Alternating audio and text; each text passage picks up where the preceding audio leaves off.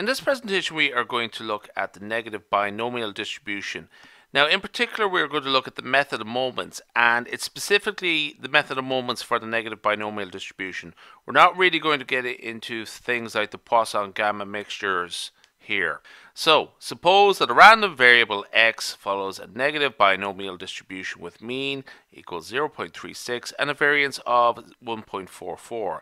The question we're asked is calculate the probability of x equal to 3.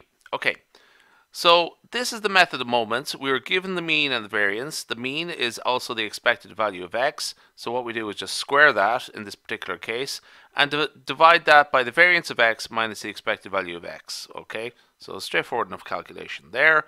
To calculate, that will give us r, which is one of the two parameters for the negative binomial distribution. We're also looking for p, the second parameter, which is the probability, and that is can be evaluated using this expression here, 1 minus the expected value of x divided by the variance of x. Okay, so straightforward enough. Uh, I made a mistake here, so I just corrected it here. In the first case, what we're going to do is calculate r, that's the expected value of x squared, divided by the variance of x minus the expected value of x. So that is 0.36 squared divided by 1.44 minus 0.36. So 0.36 squared, okay, uh, 1.44 minus 0.36, that is 1.08. Do a little bit of calculator work and we should get an answer of R is equal to 0.12, okay? Now, we get the variance of X, sorry, the probability of P using the variance of X, the expected value of X and the variance of X. 1 minus the expected value of X divided by the variance of X, that is 1 minus 0.36 divided by 1.44, 1 minus 0.25, that gives us a probability of 0.75. Okay, so what I'm going to do here is, just as a quick remark actually, uh, I'm using this particular version of the probability mass function, okay?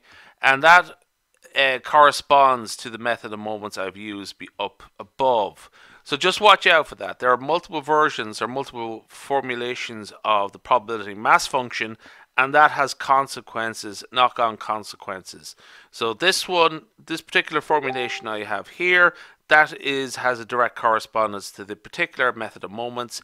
If I'm use the, the approach I've used, if I'm using a different formulation of the negative binomial, there is a slightly different version of the method of moments. So just watch out for that.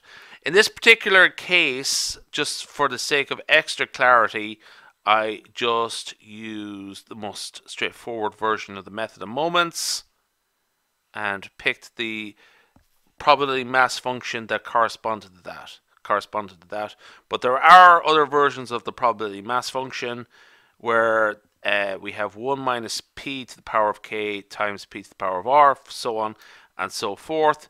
So there would be a slightly different version of the probability mass function there. So just watch out for that, okay? There are multiple versions of the PMF, and that means there are multiple versions of the method of moments. So I think I've made that statement loud and clear. Okay, so what we have here is a binomial coefficient of k plus r minus 1 and k. So from k plus r minus 1, choose k. Uh, 1 minus p to the power of r and times p to the power of k. Okay, now, so that part here, 1 minus p to the power of r, that is 1 minus 0.75 to the power of 0.12. Straightforward enough.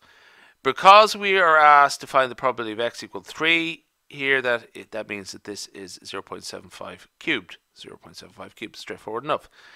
Uh, looking at the the prob uh, the binomial coefficient, what we have there is k equal 3, r is equal to 0.12, minus 1 is minus 1, and from that choose 3. So this is what we have here, a binomial coefficient of 2.12 and 3. Uh, that's a bit of calculator work. That should resolve out very quickly. And but what we have to do here is show this probability mass function. So just actually the binomial coefficient should evaluate as 0 0.047488 and the rest is a little bit of calculator work. Overall, the answer should work out to be 0.01696. Okay, and that's the that's the answer we're looking for. Now, just as a quick remark, how to do the binomial coefficient when the top number is a real number like that, and it's also less than the bottom number. You just keep doing it as much as you need to do, okay? So we do this the usual way we would sort of start out. We look at the bottom number first and count down till we get to 1. 3 times 2 times 1, okay? And what we do above is we start at the first number there, 2.12, multiply it by that number minus 1, 1.12, and then multiply it by that number minus 1 again, 0.12. And there should be an equal uh, number uh, of numbers, coefficients, above and below the line.